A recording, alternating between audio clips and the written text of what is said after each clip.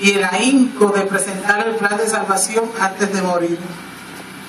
Y si nosotros queremos ver al Salvador y ver su rostro, ¿ah?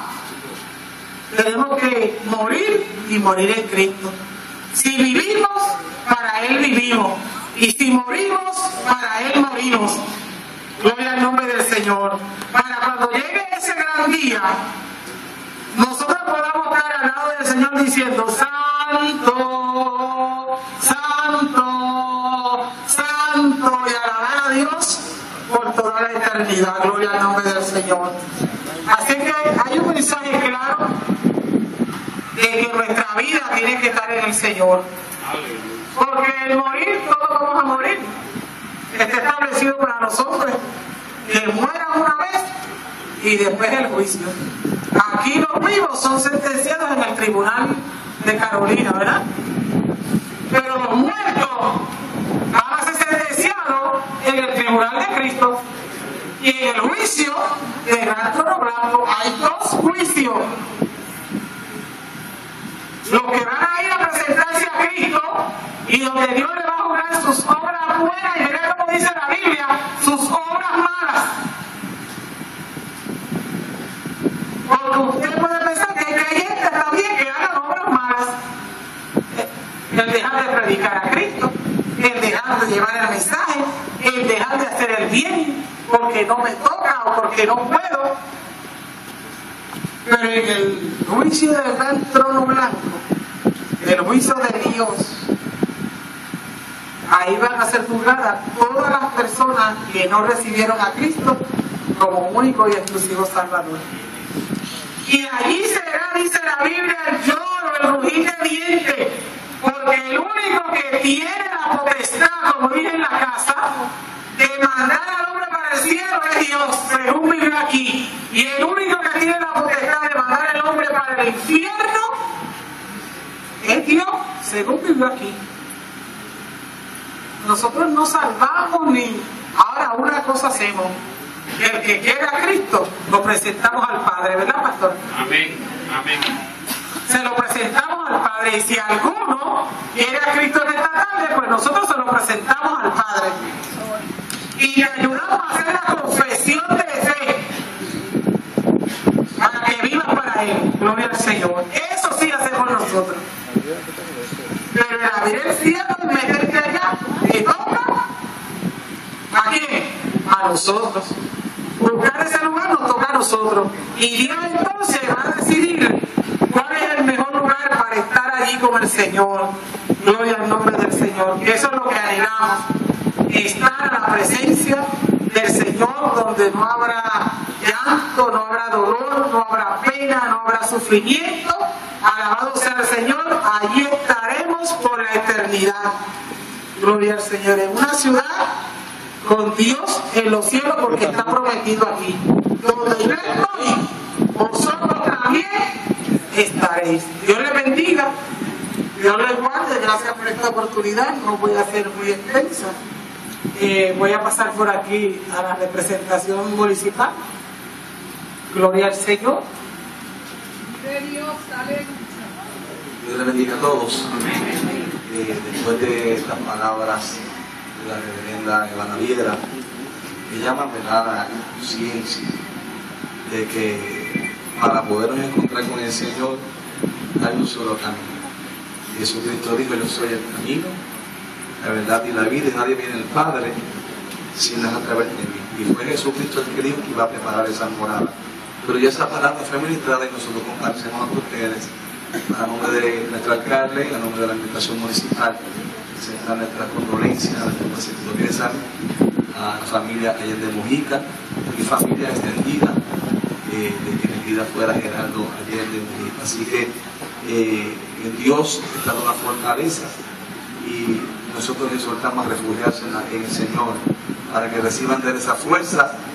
Mientras nosotros entonces aquí pues, oraremos por ustedes para que Él les en esa fortaleza y saben que pueden contar ¿verdad? con nuestra y con nuestra administración municipal y, y es el mensaje que hemos venido a darles. Así que fortaleza en el Señor.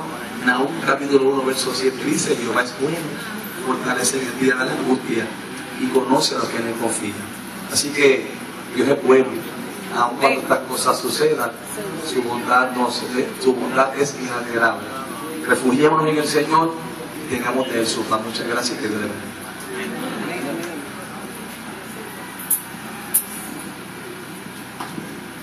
Pase el ministro del Señor por aquí, discúlpeme. Dios le bendiga, amados. Que la paz del Señor sea con cada uno de ustedes en esta hermosa tarde. Doy Gracias a Dios que no ha llovido. Aleluya, a. Quiero decir unas cortas palabras y cortas.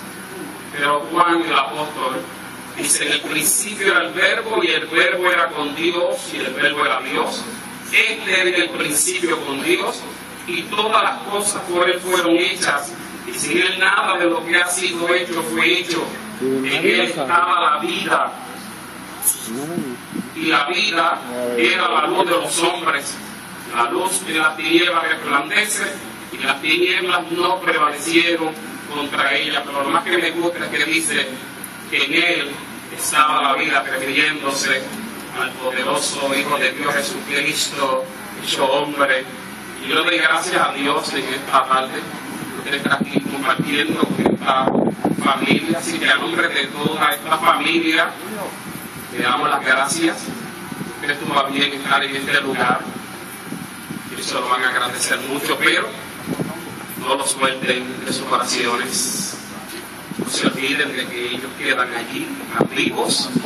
Les falta ese abrazo, esa caricia, a que algo allí en aquella casa. A partir de hoy el vacío va a ser más grande en esa casa. En el momento de la muerte de la partida ha sido un proceso doloroso, pero yo creo que el momento más difícil es el de esta tarde. Y llevar este cuerpo a la tierra. Dios le plugo separar este hombre de esta tierra. Todas las cosas están dentro de la voluntad del Señor. No se mueve una hoja de un árbol si no es la voluntad del Señor. Y en la voluntad permisible de Dios para llevarse a este hombre. ¿Cómo lo hizo? ¿De qué forma? ¿Cuál fue el trato de Dios con él? Yo no lo conozco. Pero si algún día voy a la presencia del Señor, si le soy fiel a Dios y le sigo sirviendo, yo le voy a preguntar, ¿cómo fue tu trato con Dios?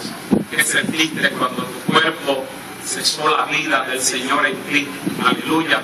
Yo único que sé que los que mueren en Cristo, y lo vi anoche en el velorio, oiga, cuando abran esos ojos, van a ver el ser más maravilloso que pueda haber sobre toda la tierra, Jesús de Nazaret.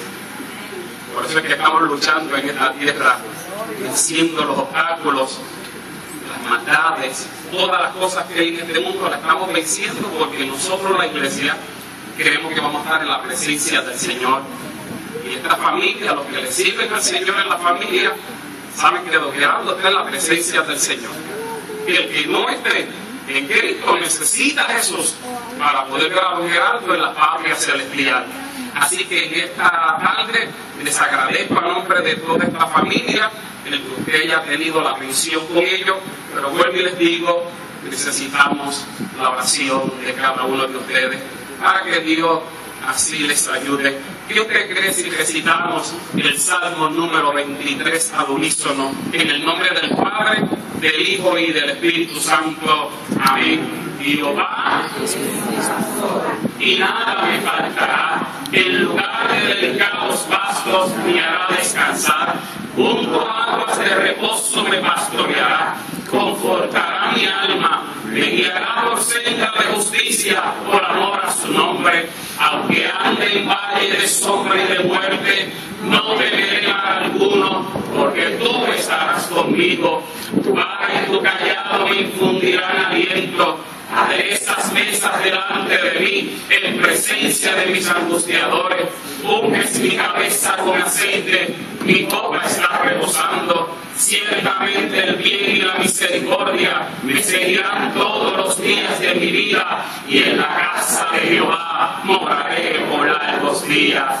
Amén. Y tiene su rostro y oramos al Señor. nuestro Dios y Padre Celestial. Gracias te damos en esta tarde. Gracias, Señor, porque reconocemos que después de la muerte natural está la vida en ti, Señor. Yo te pido, mi Rey amado, tú bendigas a toda esta familia, que tú les des consuelo, Dios mío, que cuando venga la memoria, Señor, la partida de tu Hijo, tú le des consuelo y le des paz, Señor. Sabemos que el momento más difícil es la partida, el decir adiós, el decir hasta luego, el decir hasta ahorita, Señor. Por eso yo te pido que tú bendigas a su esposa, sus hijos, su, su Dios mío, toda esta familia maravillosa. Yo te suplico que tú seas con cada uno de ellos. Y cuando los veas tristes, necesitados, Señor, envía ángeles para que les ministren. Envíale ángeles, Señor, para que los conforte. Envía a la iglesia para que esté allí con ellos, Dios mío, y les acompañe en este trayecto de dolor, Dios mío. Porque somos tuyos, nos sentimos, nos dolemos, Señor, lloramos, sufrimos, pero qué bueno saber que aunque lloramos y sufrimos, tú estás con nosotros a nuestro lado. Gracias, Dios mío, por tu paz, gracias por tu misericordia y gracias porque tú eres un Dios de amor y un Dios eterno. Te doy las gracias en el nombre que sobre todo nombre es el nombre de Jesús de Nazaret. Amén y amén.